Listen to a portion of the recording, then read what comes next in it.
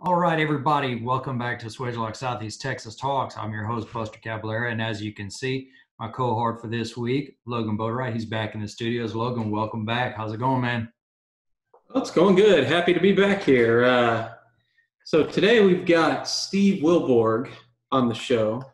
And Steve Willborg is our Swagelok, Swagelok certified trainer and training manager.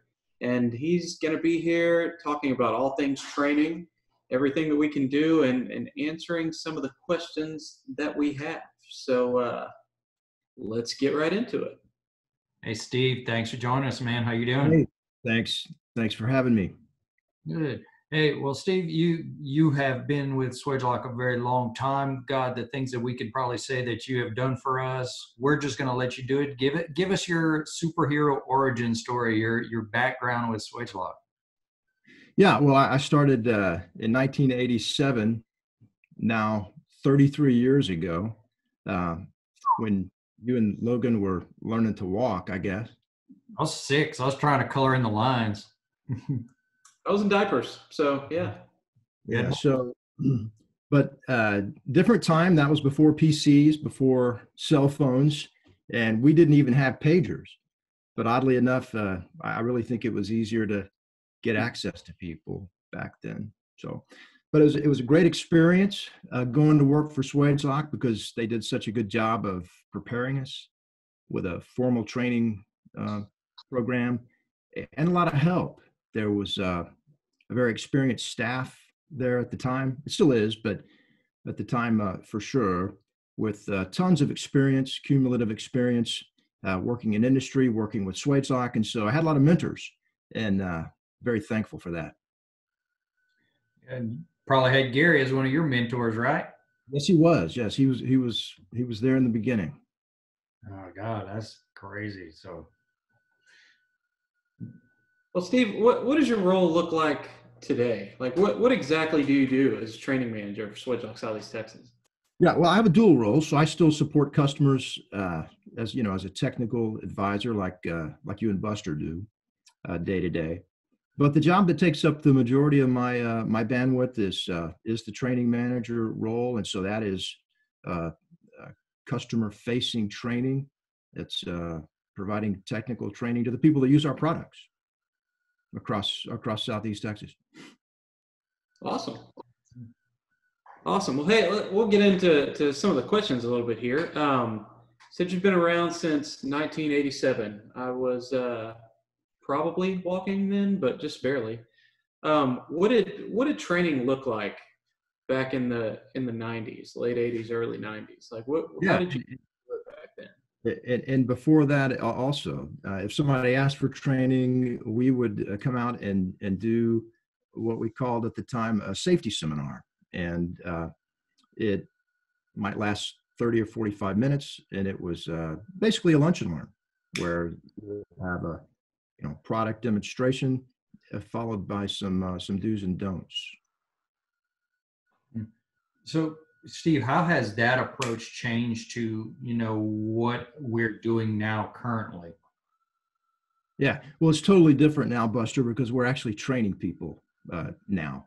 Uh, we uh, realized and, and and more importantly the industry realized our customers realized that the the lunch and learns were there was some good information in there, but it really wasn't uh, accomplishing the objectives that that everybody uh, needed to happen. So uh, the approach we, we took was we, we started with what goes wrong with fluid systems, and there was you know over 70 years of global Swagelok experience to draw from, and uh, uh, what we found and, and what we know is it's the same things over and over. There's a sameness to it. The same things go wrong. And so uh, we started there and, and we built a, a comprehensive workshop uh, that uh, prevents those things from happening. So uh, we give an installer the, the, the, the, basic skills and knowledge that they need to, uh, to, to maintain leak-tight systems and, and, and keep problems from, from occurring. So we, we, we follow the approach we, of we tell them the right way, we show them the right way, and then we put tools in their hands and, and we ask them to show us and that's really where the where the learning takes place that's where the where the teaching takes place, uh, so that by the end of the class session, they have uh, demonstrated best practices. They've, they've demonstrated the right, right way to do it. So with this approach, um, we've built in metrics that include uh, written examination and also practical exams where they're actually building components. They're building subcomponents of a, of a, of a fluid system and we're verifying those and pressure testing them. So they will receive not just a certificate of attendance, you know, they uh, they get a certificate of completion after they've finished all the work. So, Steve, in those early days when you went in and you did the safety seminars, and I think Logan and I kind of at the end of those were doing those. You know, you maybe have one person or two people volunteer to pull up a tube fitting, right? And then nowadays, do that. Yeah, it varied, but yeah. And then now everybody has their own set of tools. Everybody has their own set of materials. All the, their own. It's really like going to a full fledged class, right? It is. It's a workshop, but we're not just asking for volunteers. Everybody is completing some, uh, you know, some some preset work. Right. And so every person that comes through there uh, demonstrates uh, tubing prep, tubing handling, um, installation, not just on tubing fittings, but but the other uh, types of end connections also. Well, that's great. So, Steve, we deal with a lot of different uh, customer bases and a lot of different industries, and we we've talked about that on here before. But um, you know, the bottom line is every one of our customers does have somebody that's installing these fittings, that's that's putting them together um, you know, one one thing that we talk about with our customers a lot, and one thing that you know, I guess a question that we get asked is, you know, is training really necessary for these guys? Um, they've been doing it for a long time, or can't they just learn through on-the-job training? What What are your thoughts on that? Yeah, so on-the-job training is is a part of everybody that I know, everybody's work experience, and it's a necessary, a valuable part of that.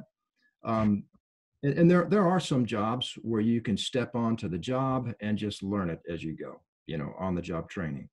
But uh, uh, most jobs don't allow that. Most jobs have an element of risk or at least consequences and you, you, you can't do it that way. And that's definitely the case when you're working with pressurized fluid systems in in industry uh, it, it's uh, there's a lot of exposure there. We deal with hazardous media, you know, flammable gases and pyrophorics and caustics and acids and all, all the rest.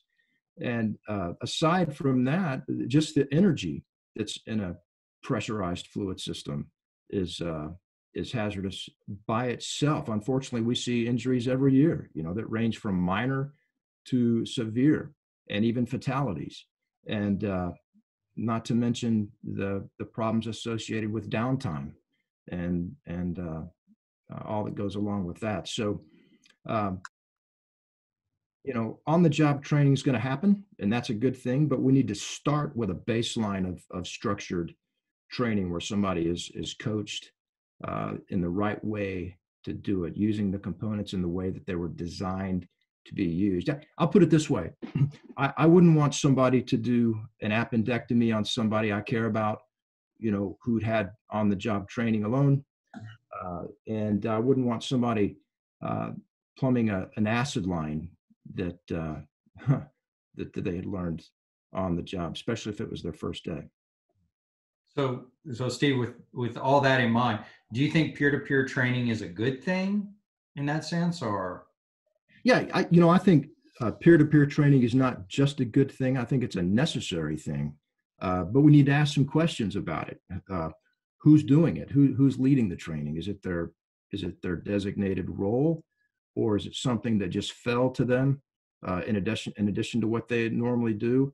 Uh, are they are they good at it? You know, are they capable of training? There's a there's a presumption out there that because somebody has a competency in a particular area that they're able to uh, uh, you know share that competency with somebody else and that's that's not always the case. Not everybody has the patience uh, for training for teaching and uh, uh, so they, they say, uh, you know, um, the the best coaches were not the star players; they're the the players that were marginal that had to really work and struggle to make it, and they're the ones that are, uh, um, you know, the good the good coaches, the good trainers, and so you can't just assume that anybody can do it. No. So, uh, uh, you know, the, the middle skills gap continues to to grow. Um, we're in the middle of this massive turnover in the workforce. That's a long way from over. You know that the the, the exodus from the workforce started in uh, 2011, and it's not going to uh, conclude until 2029. So we're right in the middle of it, and so all the more it's it's it's tougher to have a peer-to-peer uh, training uh, program because the, the age and experience is leaving at such a rapid rate.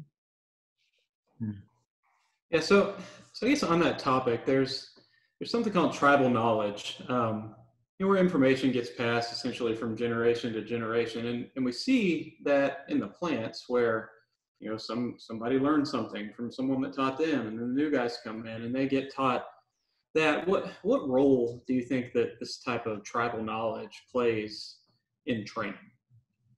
Well, I think it's important, uh, Logan, and, and if what you mean by tribal knowledge is that not everything is captured in a in an SOP or in an operations manual, there's there's things that are unique to every site uh, about their processes and about how they how they go about problem solving and and uh, the, the, sorts of challenges that they face, and so um, that sort of information, that sort of knowledge uh, needs to be uh, understood and communicated and passed along uh, it, and probably would happen within a training setting, whether that's formal uh, or informal. But we've got to be careful because um, there's a lot of myths and, and misconceptions that are uh, sort of wrapped up in that category.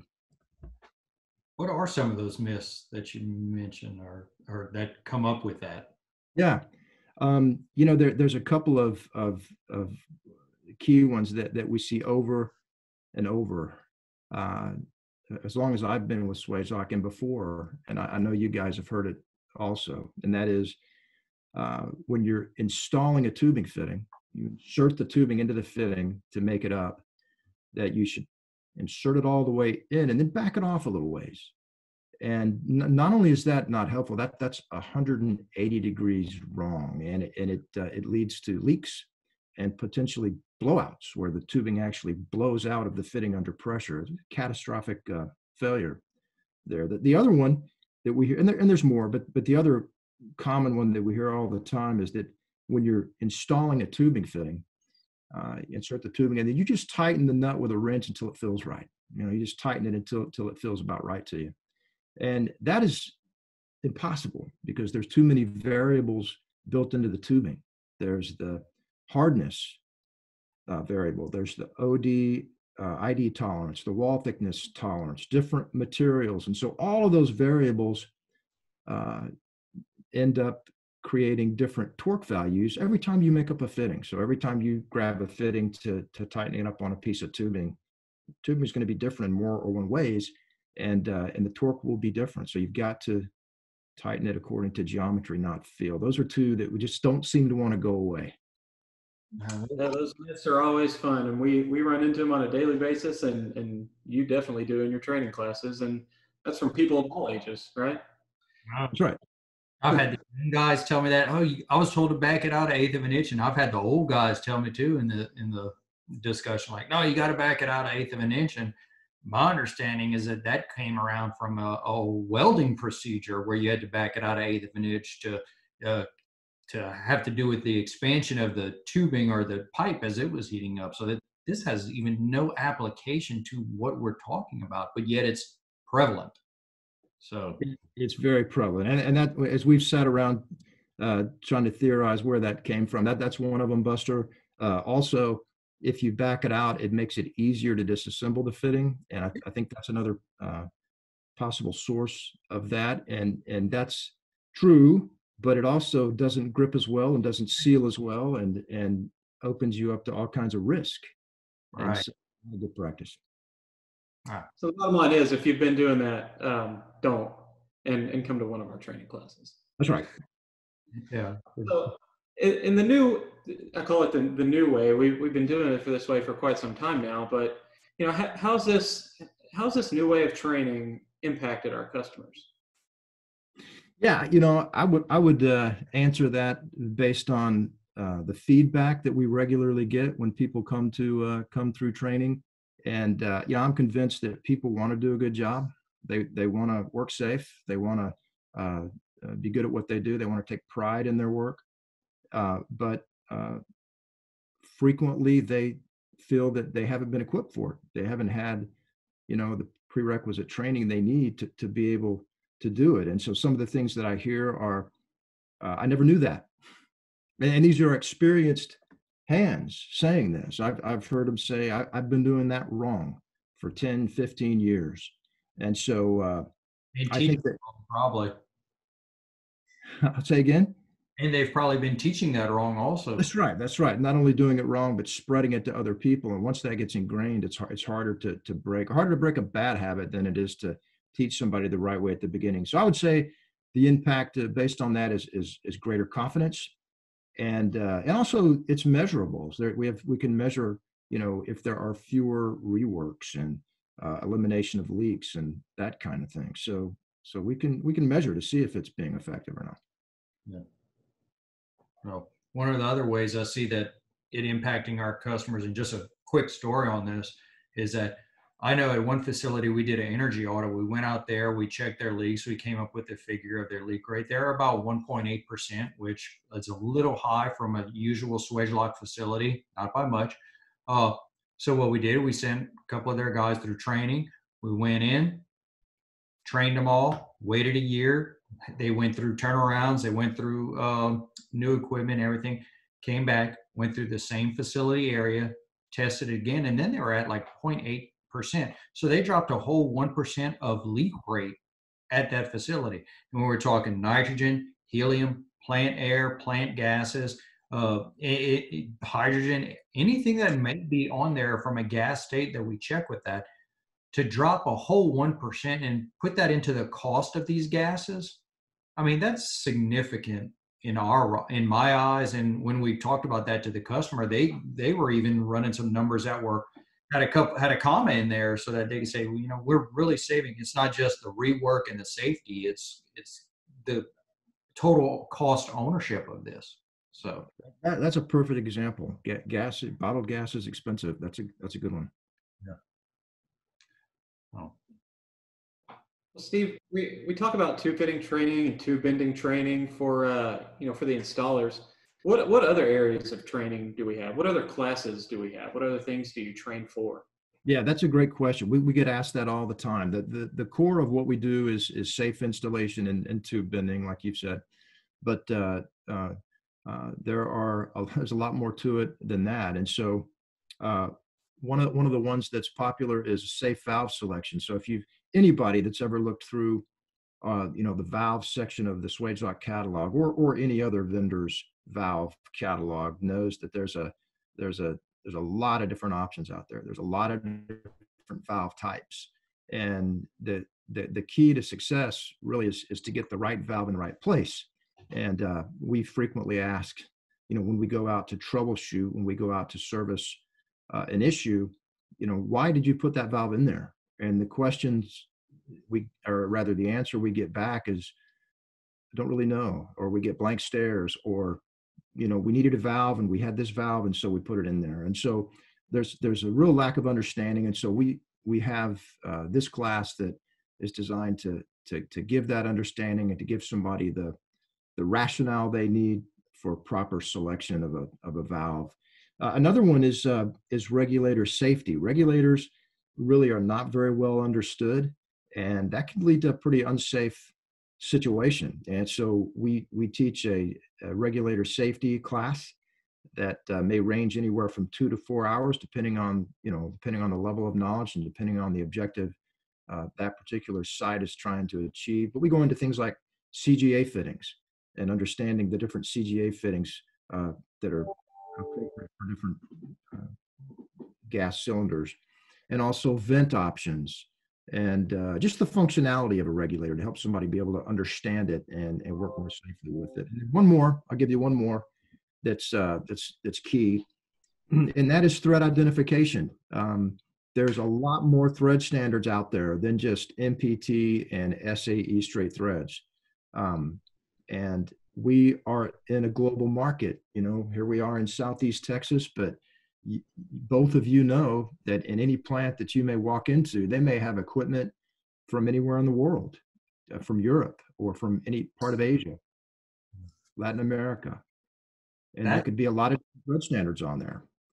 And then they need to connect it or do maintenance on it. And if you put the wrong thread standard into the wrong port, you know what happens. Yeah. That not only does it right there is is very beneficial. Uh, I know we've kind of gone through ourselves, but when our customers call us out, they're like, "Hey, we just got this new piece of equipment in. It's all metric. We want to change it out to fractional, but we have some threads we don't know what they are. Can you come out here?" The ones who have gone through that training and done it, we don't hear those questions from us. We get deeper questions, but that that one little piece right there is so easy for them to say, like, "Oh, that's BSP. That's NPT. All that."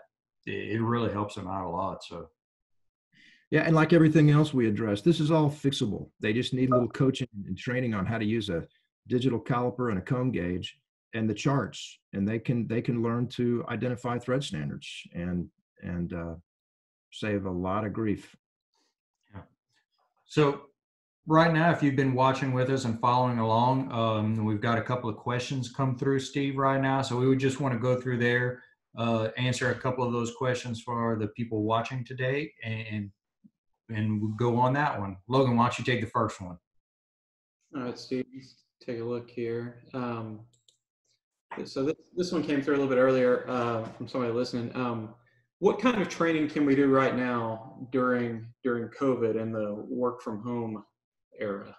Yeah, that's a great question, and you, you guys both know we're we're adapting it in all kinds of ways in the current environment, and so uh, we will we, we we will always have as as you know our core part of our foundation is to support and service our customers. And so we'll we we will have any conversation uh, about that to help them however we can. I will say that uh, really the value in the hands-on uh, workshop um, is uh, is is what it's all about. And so we cannot replicate that in a virtual environment. But as a, a, temporary measure or to meet them where they are right now or to set up something for later we will uh, we will do what we can to help them uh, and and some of these other trainings uh, like safe valve selection we, we could do some of those things uh, a little easier in a virtual environment um, but uh, we're hoping to get back to face to face as quick as we can. Yeah. So Steve, what are what are some of the kind of common misunderstandings about training that people believe? Yeah, there's there's a lot of things. I I think one of the one of the ones that that, that uh, comes up over and over is just that uh, training is not w- with fluid systems and fluid system components. It's just not necessary. I think in a lot of people's minds, it seems like such a simple thing. I mean, it's a tube thing, and the perception is, you know, uh, you tighten it with a wrench. How, how much more complicated could it be? And so, what do you need? 10, 15, 20 minutes to cover that? Hmm. Uh, and that uh, misconception uh, uh, misses the fact that that that's just you know swage there's Swagelok tubing fittings but then there's tube adapters and plugs and caps and port connectors and threaded connections and tubing prep and tubing handling and all the rest. And and uh, there's a lot more to it than uh, most people realize. We we really barely scratch the surface in a four hour or an eight hour class. And so uh, nobody's born knowing how to do anything. Uh, they need to be uh, shown the right way. And uh, I don't know if y'all read instructions or not, but most people don't read instructions. I don't. And so, uh, say that again. When I mess up on something, I go back and read. Yeah, when you go back, and then and then sometimes it's it's too late. So um, we don't want that to happen. We want to make sure we're being proactive about it, and and that's what that's what this can do for them. Another Sure. question we have right now, Steve, is um, is do you receive a certificate and how long is the training good for? Yeah. So we there, there is a certificate, and it's not just a, uh participation ribbon, like we said earlier. Don't It's do a, it's a certificate of completion, and um, it it is dated for two years from date of issue, and uh, it does carry some uh, significance. There are uh, owner companies who write that specification into their construction um, line items, and so um, oftentimes when somebody's going on site to do work, that cert is required. Yeah. Thanks, Steve. And uh, I guess this is looks like the last one here, but um, what didn't we talk about? What didn't we already cover that you think is important for people to know?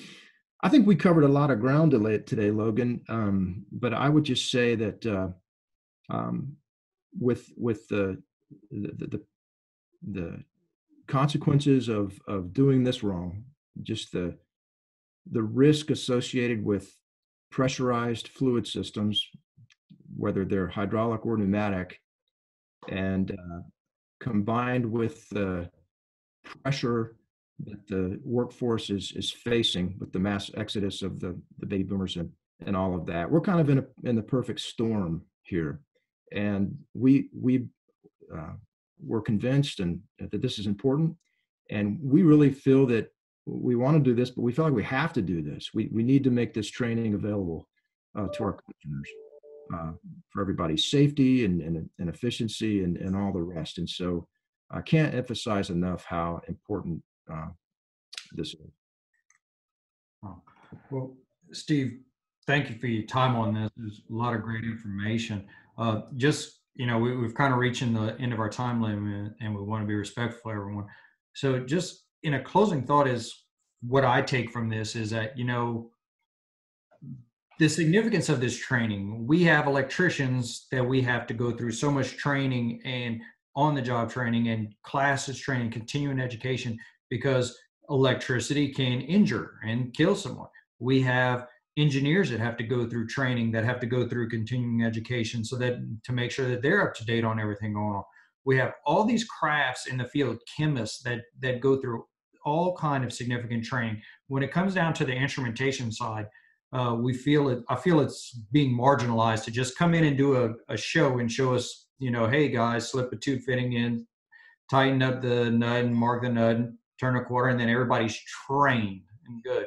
That we shouldn't be the significance of this training should be taken more seriously and, and even on that same level because a 100 pound quarter inch uh, nitrogen line can do damage severely as much if not installed properly just as running a, a electrical cable can do. And so for if you are listening and watching and and doing this think about that seriously a 100 pound psi line not installed properly what kind of damage that can do as compared to a, a 110 volt line ran and not grounded properly because the guy was trained on the job by someone who's been there. So that's my thought. Let's get some Yeah, good. That's well said. That's really well said, Buster. And I'll, I'll just add to that. You, that that would be another misconception is that you have to be working with high pressure to, uh, you know, for it to really be a hazardous situation. And pressure is relative, and it does not have to be 10,000 pounds. We have customers that work with 10, 20, 30 psi, but you're right. It can be 100 or 200 psi and still lead to a, a very unsafe situation where injuries happen. So, yeah, very well put. Thank you. Logan? Those are those are really good points, and and I guess to kind of piggyback on on what Buster has said and Steve talked about a little bit. You know, tube tube fittings are often not thought of until something something happens or until the end of a project. And when the instrument lines are, are hooked up, that's that's oftentimes the last thing that gets looked at. So the, the thing about it is you're not across the finish line yet. It's it's just right before the finish line. So you, you want to finish strong. And we have run into situations in the past where you know customers might come to us after something has happened and they want to get everybody trained up because they did have um, unfortunately something happened to, to one of their lines and obviously we're happy to go in and train at, at any time but there's there's some merit to being proactive in something like this versus reactive after something happens. Um, and and when you're proactive about it you know you you might not have those issues. Hopefully you won't that that you could have otherwise. So that's that's why we're out there. You know buster steve and i and, and all of our other technical advisors are out there talking about training all the time and um, steve we really appreciate you uh, coming in and, and sharing some of your knowledge with us and if you haven't been to one of steve's training classes please reach out to any of us and we will we will get you set up so thanks a lot steve You're welcome. Thank you, guys.